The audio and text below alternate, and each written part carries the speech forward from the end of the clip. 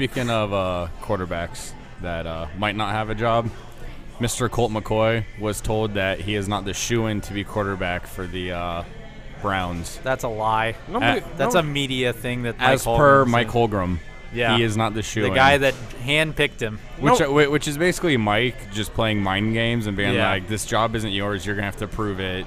Yeah. Yeah. Not only that, no one wants their quarterback to be a ginger, so you better be really good. What, what what's wrong with uh? You're talking Dalton? about Dalton. Dalton's good. I like Dalton. Colt, Colt McCoy's not really a ginger. No, he kind of looks like a He's just Furby though. His eyes are really light-skinned. far apart and big. He's got ginger tendencies. In the words of the black lady I saw, Maury Povich, he's light-skinned. He's light, Light-skinned. Very good. right. How many D's are in that? uh, on the light-skinned note, I have no more NFL notes. I think we're good on that. Yeah. What is a light skinned As note? day 71 of the lockout continues, give me football or give me death.